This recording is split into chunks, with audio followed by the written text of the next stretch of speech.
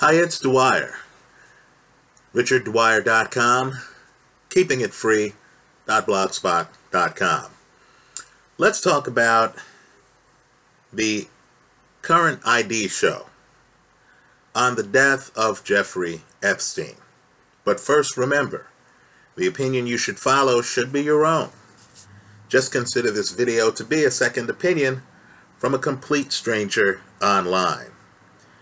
Now we know, just preliminarily, that the narrative that Jeffrey Epstein murdered himself, committed suicide, to protect significant people, people with power, people with status, people perhaps with connections to either the Oval Office in the past or the British royal family in the present. Right? That narrative simply doesn't make sense. It doesn't work. We know that simply because when Jeffrey Epstein was accused of pedophilia in South Florida earlier, rather than hide, understand, he is involved with the Palm Beach society circuit the Palm Beach elite. There are photos of him at places like Mar-a-Lago. Right? Very popular down there.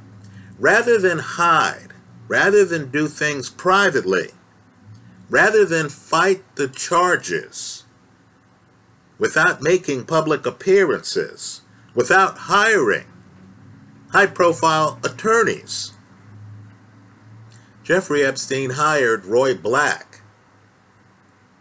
Understand, Roy Black is a very prominent attorney in Florida. Right? People who watch court cases keep track of what Roy Black is doing. Also, Dershowitz, excuse me, also Epstein hired Alan Dershowitz. Think about it. Dershowitz, of course, was a professor at Harvard Law School if Epstein was trying to hide his ties to Harvard, where he was a significant donor, and according to reports, had use of an office at Harvard, then why would he hire arguably the most popular, the most known Harvard professor to be part of his legal team? So if Dershowitz was willing to fight criminal charges in South Florida, even though he was a member of the social circuit down there, and if he was willing to do so in a high profile manner, at a time when, let's be real, he was worth at least several million dollars. He was already hobnobbing with former presidents of the United States members of the British royal family. If he fought the charges in Florida, why do we feel, why does anyone argue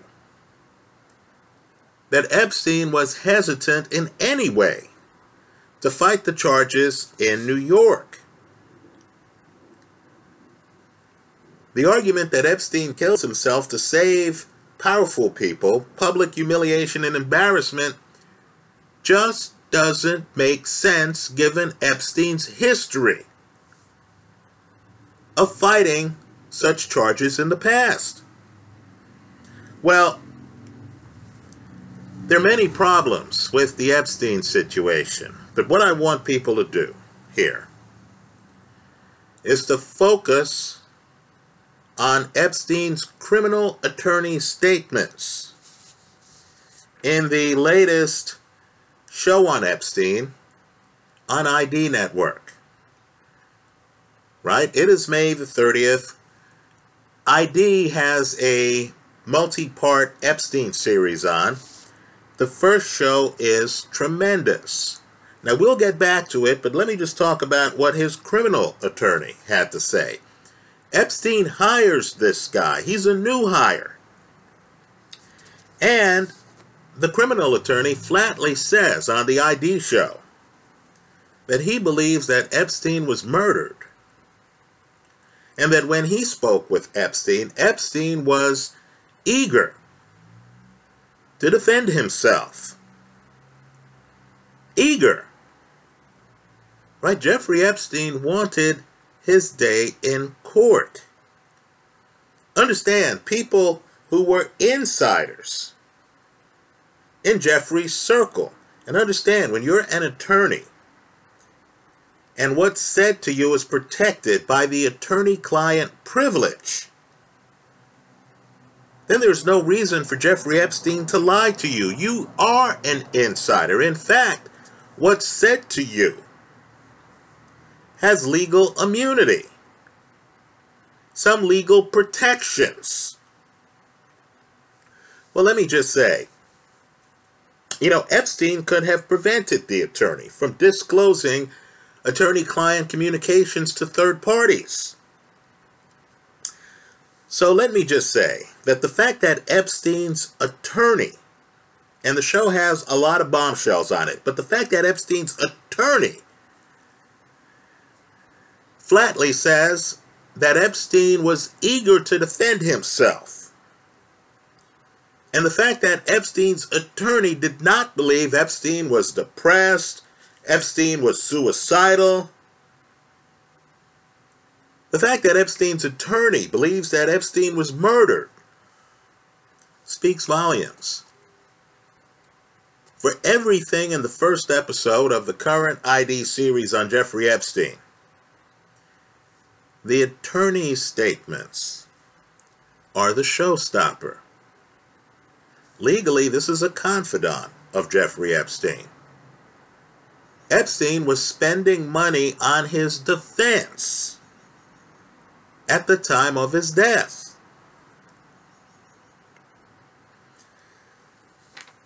Let me also say, too, that everyone should be concerned about Jeffrey Epstein's death. One man's opinion here, the narrative doesn't make sense. I believe he was murdered. What I want people to do is to Google the findings of forensic pathologist Dr. Michael Baden. Understand, this guy is one of the giants in the field. Now, critics will point out that Jeffrey Epstein's family hired him. My point to you is Dr. Biden, uh, Dr. Baden has a career that establishes his credibility. He's not going to ruin his reputation by falsifying a report to make some pedophile, someone who is socially repulsive, someone who, quite frankly, is unsympathetic, look like he was a murder victim. That narrative by itself is ridiculous. More importantly, the content, whatever your conclusions, and I understand some other pathologists saw it differently. But whatever your conclusions, the content of Dr. Baden's report raises red flags. First of all, it is very rare in hangings for there to be broken bones. Very rare. That's a statement that you can verify for yourself online. But yet, not only does Jeffrey Epstein have a broken bone in his neck, folks, he has two fractures in his neck. Not one, but two. The fractures are more consistent with Jeffrey Epstein having been strangled than they are with Jeffrey Epstein hanging himself. Right? Let's be clear about that. Let's go further. Jeffrey Epstein's eyes have hemorrhages in them. Here again, that is more consistent with Jeffrey Epstein having been strangled, than with Jeffrey Epstein having committed suicide. Right? Epstein's condition, the two broken bones in his neck, too, and the eye hemorrhaging are more consistent with strangulation than with suicide. So then we look at the jail itself and understand this was a jail that housed high profile defendants. The reason Jeffrey Epstein is in this particular jail is because it's supposed to have greater security than most. It's supposed to be better equipped to deal with the incarceration of high profile defendants. Now, in furtherance of this jail's security protocol, it had not one, but two cameras that were supposed to catch what was happening right outside Jeffrey Epstein's cell. Two cameras. Would it surprise you to learn that the day of Jeffrey Epstein's death, neither of the two cameras was working? How is that possible?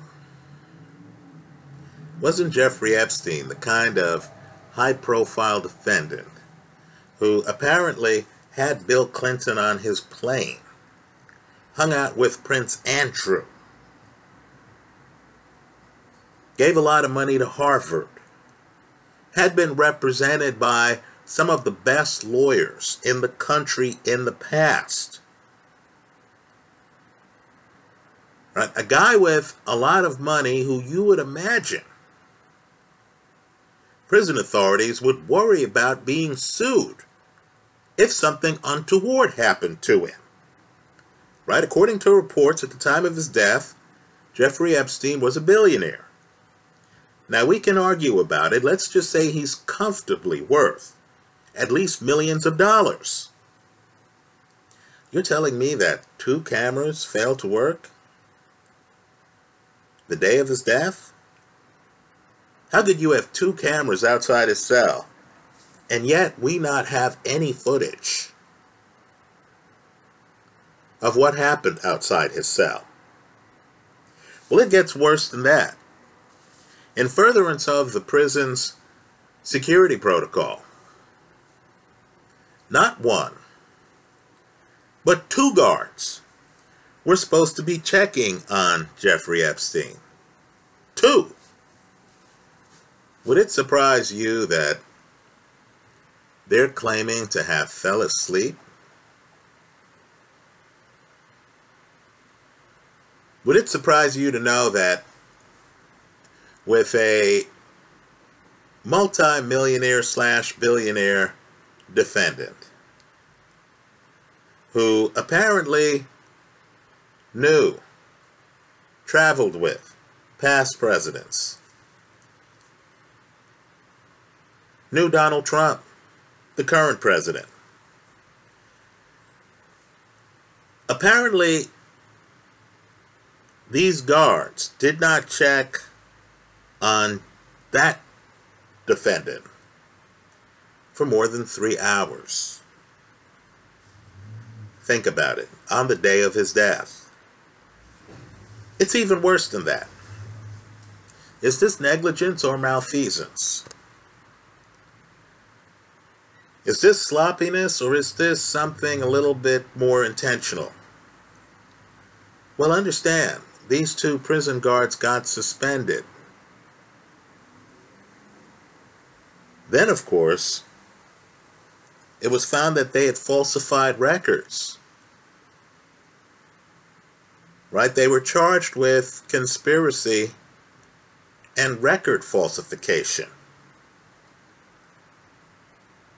Didn't all of us know about Jeffrey Epstein's incarceration, at the time of his incarceration, wasn't he one of the most well known people in the prison system? Wasn't he a big fish? Weren't the allegations outrageous? Weren't you looking forward to that trial? Given that Epstein had already had some elite lawyers represent him in the past, and since his earlier sentence was really a slap on the wrist for the kinds of crimes that he was accused of. Right? Epstein, according to ID Network, gets less than two years. Only has to serve something like 13 months. So, given that Epstein got off lightly for terrible crimes, and you'll find out how terrible when you watch the ID show, which has tapes of police interviews with some of Epstein's victims. Given that Epstein really beat the system in Florida, weren't you looking forward to whatever arguments his lawyers were going to make in New York? Well, understand, with this high profile, a defendant, somehow the defendant ends up with injuries more consistent with strangulation than suicide. And of course, the protocol of the prison wasn't followed. Right outside his cell, the video cameras are broken. The multiple people, two guys who were supposed to look after him, conveniently are asleep. Right? The records they're falsified. Well, let's talk about the ID show, and it's a must watch, right? The first episode's what I've watched so far. It's one of the best I've seen. On the show, they have some important people. I've already discussed the lawyer. For me, that's the showstopper. But there's also the CEO of Tower Financial, an outfit at which Epstein worked for a long time. Now, the CEO on camera on the Epstein show, and keep in mind, this guy was sentenced to prison for financial irregularities at Tower Financial. On camera, he admits that there were financial irregularities at Tower Financial. On camera, he says Jeffrey Epstein whose past is as murky as can be, was involved in the financial irregularities, which of course involved millions of dollars. Right? The feds want you to believe that Tower Financial was a Ponzi scheme. Think Bernie Madoff. Right? So, on ID, they have a high ranking official who worked with Jeffrey Epstein at Tower Financial tell you that Jeffrey Epstein had dirty hands, that Jeffrey Epstein in his business practices, at least at Tower Financial, cut corners on deals worth millions of dollars. Right? They also have on the show the co-author who wrote a book with James Patterson, the well known author. That's probably the best book on Jeffrey Epstein. And of course, this co author who studied Epstein, who's outraged at the plea agreement offered Epstein, tells you how shocked he was by the plea deal that Epstein reached right, talks about the number of victims. Folks, it's not one or two, it's dozens. It's dozens in South Florida, and how the prosecution, for some reason, with several of these women cooperating. The prosecution somehow didn't use them. And the witness they used, the victim of Jeffrey Epstein they used, they used poorly. It was the prosecution in front of the grand jury who asked an underage victim about her sex life and things like that. Sex life that didn't involve Jeffrey Epstein. Right? The state of Florida did not properly represent, in the opinion of James Patterson's co author, Jeffrey Epstein's victims in its criminal prosecution of pedophile Jeffrey Epstein. Let me also say, too, that the tapes of the victims, and understand, some of these victims did not want to talk. They came to police attention by chance. One girl gets into an argument with a classmate in high school. The classmate calls her a prostitute. Some school official then looks in her purse, finds $300 in the purse. They ask her, How did you get this $300? Right? She's just a high school student. They ask her, Were you selling drugs? How'd you get this money? She then talks about how a friend invited her to go to a rich man's place. How she shows up at the rich man's place. And how she's then talked into giving the rich man a massage. Right? In walks Jeffrey Epstein wearing just a towel. For purposes of decency online on the internet, I'm not going to continue with what else happened in the story. But just understand it's graphic. Just understand that it's clear from the tapes that they play, the police interview tapes that they play on the ID show that these women were dealing with a pedophile who knew how to groom them, who bided his time and waited for the right opportunity to violate them, who made sure that things sounded innocent on the front end. Right? I'd like a massage. And then, of course, got graphic on the back end. Right? Understand, too, this was Jeffrey Epstein's MO. The Florida police inspected his garbage. They grabbed garbage bags.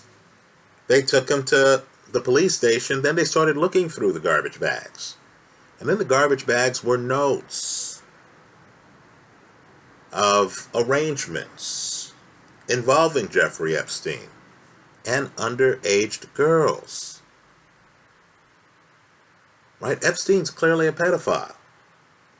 Now understand, charged with pedophilia, which is different than tax evasion, right? Someone might plead guilty to some crime that doesn't carry heavy social stigma, just to put it behind them. But pedophilia is not the kind of crime that someone's going to plead to if they didn't do it right? It carries too much of a social stigma. It has the people around you trying to protect their children from you. Right? It's the kind of thing that's going to kill many business deals. The people with whom you have a business relationship might decide, you know what, it's socially too damning for me to do business with a pedophile. Right? Understand. Jeffrey Epstein fought the charges, in my opinion, in a high profile way. I don't know how you can hire Alan Dershowitz in a low profile way. Right? Someone who has represented OJ is not someone you can hire in a low profile way. Right? Jeffrey Epstein defended himself aggressively in South Florida.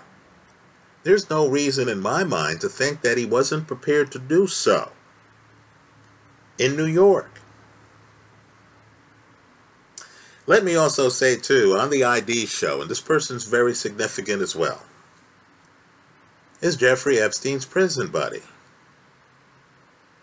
A guy who was in prison with Epstein in New York City, right? The high profile defendant prison for tax evasion and running an escort service. Right? A sex trade business. So the guy befriends Jeffrey Epstein. He talks to Epstein about what it takes to, you know, deal with prison life. Right? Epstein's titillated by the fact that this guy was in the sex trade business. The guy flatly says on the show, just like Epstein's lawyer, that Epstein was not suicidal. Epstein is not depressed. Right? Epstein was coping with prison life. He's not depressed. So his death is curious. Right? Understand too. Let's say Epstein killed himself. What are the odds that he would kill himself? And then, of course, the autopsy would find that a guy who hangs himself off of a bedpost somehow is able to break two bones in his neck, have hemorrhaging around his eyes, consistent with strangulation, and then, of course, the prison would have not one but two cameras malfunctioning, and, of course, the guards, the other failsafe, wouldn't check on him for three hours, then would decide to falsify records. This looks like a murder to me. In the comment section of this video, give us your thoughts, especially if you believe it's a suicide. Tell us why. Right? I do hope you're more creative than claiming that Epstein was publicly humiliated. Guys, this, this guy was a pedophile for years. He's a pedophile out in the open to the point where he has different people procuring girls for him. Right? This guy, to me, has no shame. You're telling me suddenly he grows a conscience at 66 years of age? And decides, oh, I can't go on. The social embarrassment, the fact that some of the people around me might be embarrassed. Folks, this guy was in the jet set for years. He was throwing parties for years, both in the United States as well as on his islands. Right? Keep in mind, he has multiple locations. He spends millions on the real estate he owns, and it's all designed to throw parties, to invite people over, to be near Central Park, etc.